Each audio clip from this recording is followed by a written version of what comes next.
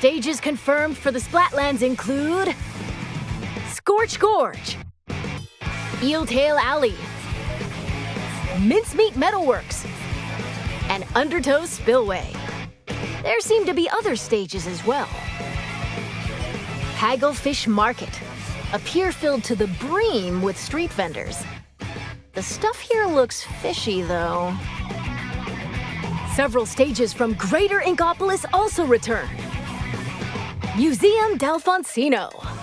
Battles here take place in the central courtyard of this modern museum. Take special note of the rotating wall. Hammerhead Bridge. This bridge connects Greater Inkopolis to the Splatlands. After lots of construction work, it's finally open. Thanks to the bridge, transit to and from Greater Inkopolis is much easier.